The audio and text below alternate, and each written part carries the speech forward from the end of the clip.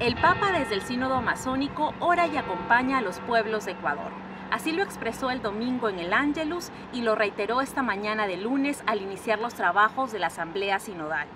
Encomendemos a nuestra Madre a los hermanos ecuatorianos que han sido muertos en estos días, heridos, perseguidos, presos.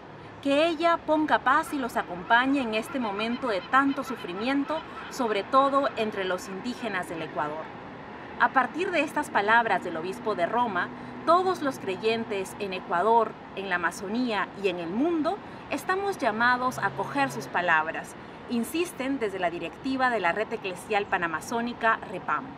En Roma, desde nuestra canoa, seguimos orando por la paz del Ecuador y en el mundo, en este clic amazónico.